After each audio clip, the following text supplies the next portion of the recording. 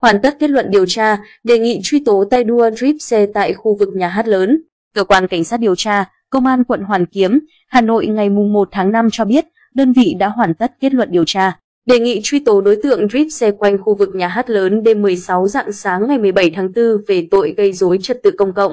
Theo đó, đêm 16 và dạng sáng ngày 17 tháng 4, đối tượng Hoàng Ngọc Thắng điều khiển xe ô tô nhãn hiệu Nissan mang biển kiểm soát